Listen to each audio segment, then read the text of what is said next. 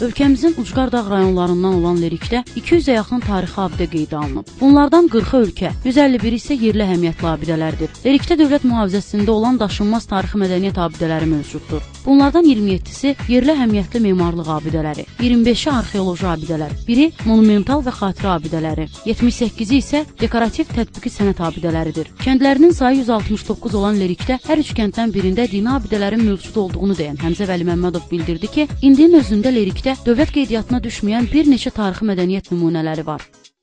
Abidələr dövlət mühafizəsinə götürülməyibsə, mütləq onun dövlət mühafizəsinə götürülməsini təmin etmək lazımdır. Çünki bu məsələ ilə rayon mədəniyyət və turizm şöbələrində məşğul olan xüsusi qurum var.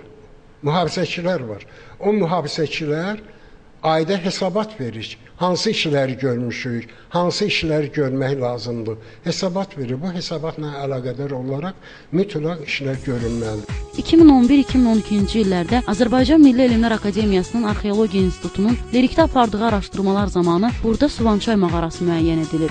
Qədim tarixə malik olan Lerik rayonu ərazisində yerləşən Buzeyir mağarası Azərbaycan ərazisində daş dövrünə aid olan ən qədim yaşayış məskənlərindən biridir. Bundan əlavə Lerikdə təmirə ehtiyacı olan bəzi abidələr yerli sakinlər tərəfindən təmir olunaraq istifadəyə verilir.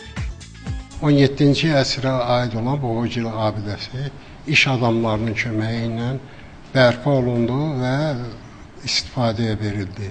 Bir sıra məscidlər bərpa olunub istifadəyə verilmişdir və bir neçə yerlərdə də bu abidələrin bərpası davam etdirilir. Sonda tədqiqatçı Həmzə Vəli Məmmədov bildirdi ki, kimliyindən asılı olmayaraq hər bir insan ilk növbədə öz ölkəsini və onun tarixini, mədəniyyət nümunələrini yaxşı tanımalıdır. Yalnız böyük şəhərləri, çayları, dağları deyil, yurdunun cığırına da, izinə də bələd olmalısan. Çünki vətən hər kəsin də olduğu yerdən başlayır.